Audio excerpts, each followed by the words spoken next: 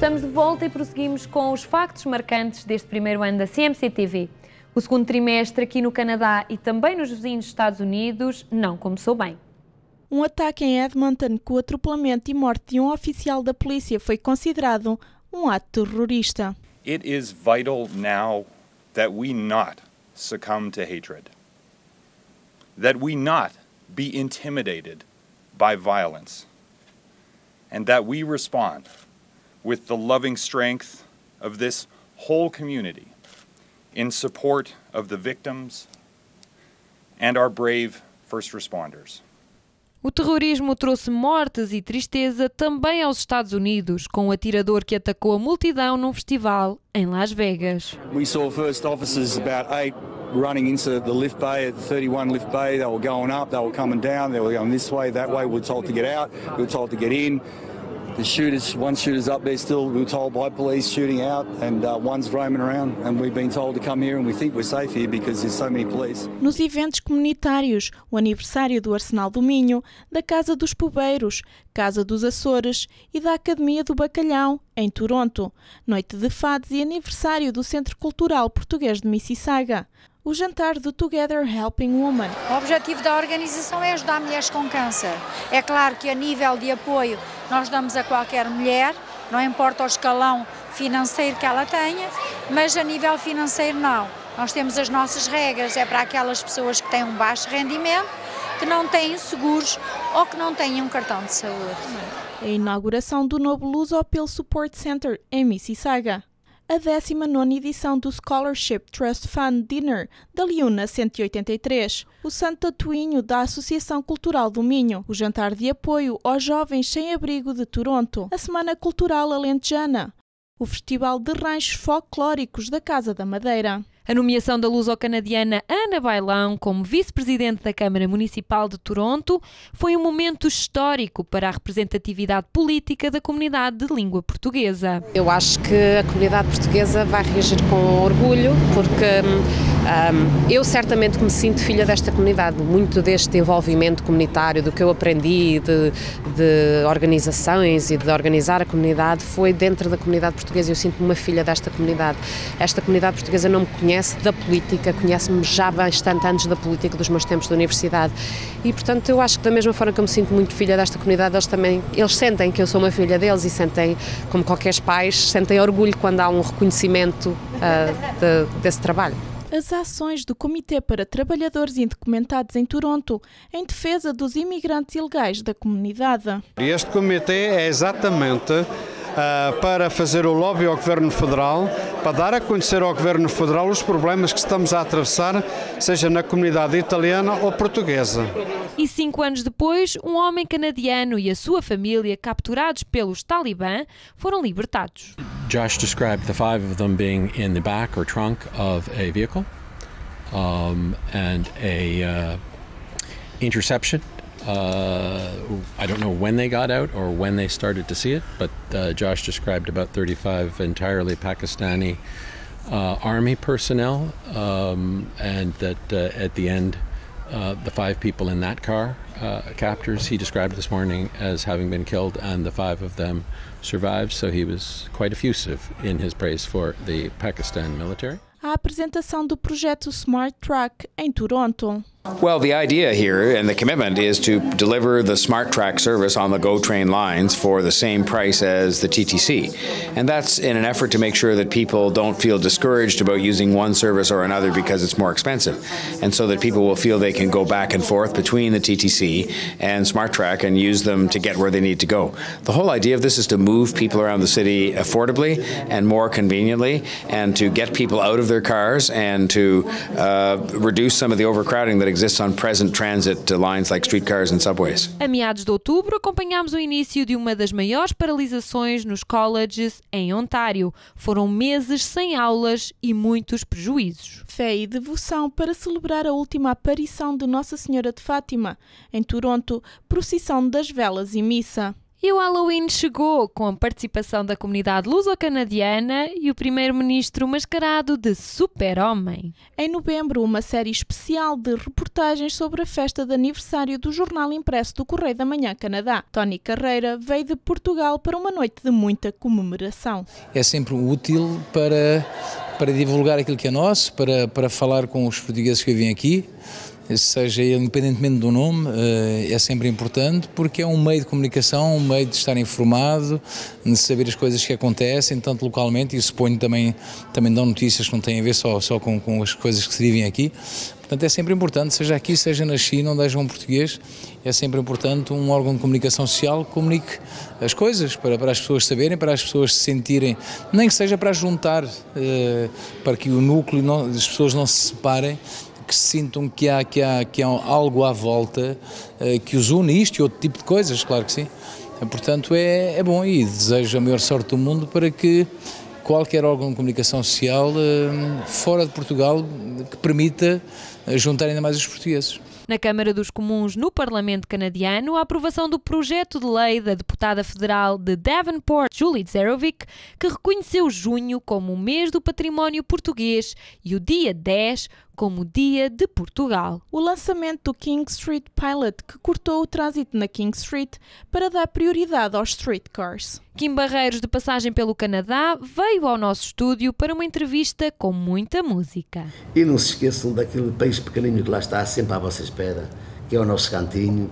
E, hum, e muitas felicidades para, toda, para todos os portugueses que estão neste grande e maravilhoso país a parada de Santa Claus deu início às festividades do Natal em Toronto. As repercussões do aumento do salário mínimo nas empresas luso-canadianas. Ora bem, evidentemente que traz mais gastos, uh, problemas, trazendo mais gastos, traz problemas de pagamento. Uh, evidentemente que alguns empregados até merecem um pouco de aumento, na realidade é um aumento um pouco exagerado, pelo menos muito de repente. Eh, na minha opinião. Eh, segundo, há empregados que na realidade não merecem esse aumento, eh, porque quando temos hoje, estamos a atravessar uma, uma altura difícil com o empregadismo. Eu já fui empregado há seis anos, sei o que fui e sei o que se pode fazer e realmente é por isso mesmo que eu digo. Mistério na morte de um casal de milionários em Toronto. Barry e Honey Sherman foram encontrados mortos na sua mansão na cidade e as investigações geraram muita polémica. Dezembro chegou e acompanhámos desde o início aquele que viria a ser um dos mais graves casos de assassinos em série no Canadá.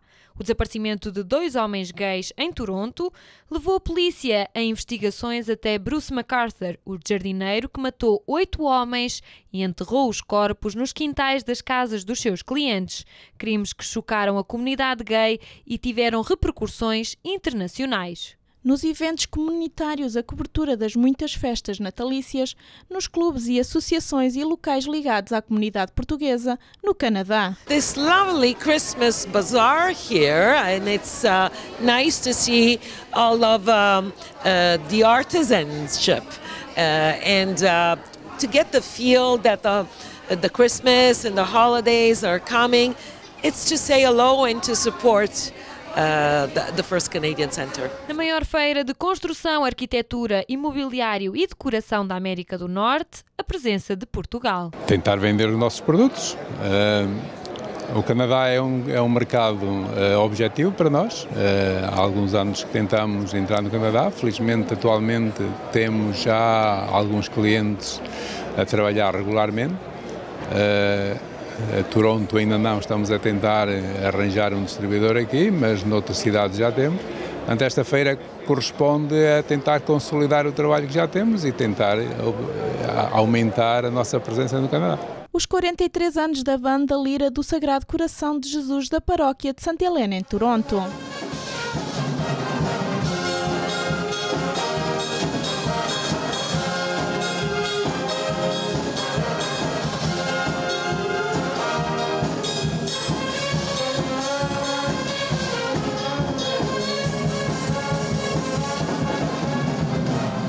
O nosso primeiro Natal também foi comemorado com um open house com a presença de parceiros e clientes. This is a great value. Why? Because I know Eduardo. I've known him for a long time.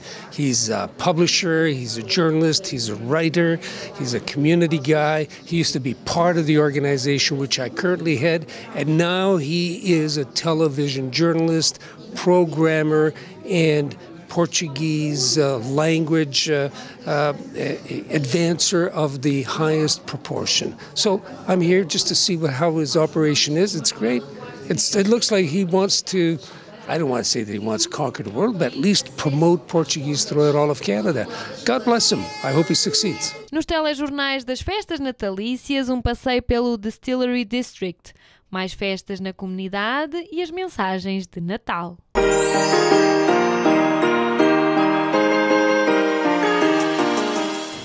Em nome de todos os sócios do Centro Cultural Português Missaga, quero desejar a todos os amigos, sócios, patrocinadores um feliz Natal e um feliz Ano Novo. E que frequentem sempre o Clube Missaga. Muito obrigado. My name is Emily Raposo. Have a Merry Christmas to all people in the world. I wish you a Merry Christmas. Hi everybody, I know y'all know my husband João, but they like me more. I want to say everybody Merry Christmas, Happy New Year. Gostava de desejar à comunidade em geral um Feliz Natal e um próspero Ano Novo. Eu queria desejar a todos um Feliz Natal e um próximo Ano Novo da minha casa, à vossa casa e tudo de bom para o Ano Novo de 2018. O meu nome é Otília da Silva Ponte. Quero desejar a todos os portugueses, canadianos, em todos em geral, um Feliz Natal e com o Ano Novo nos traga o, as maiores prosperidades que nos possa dar, com saúde, paz e amor.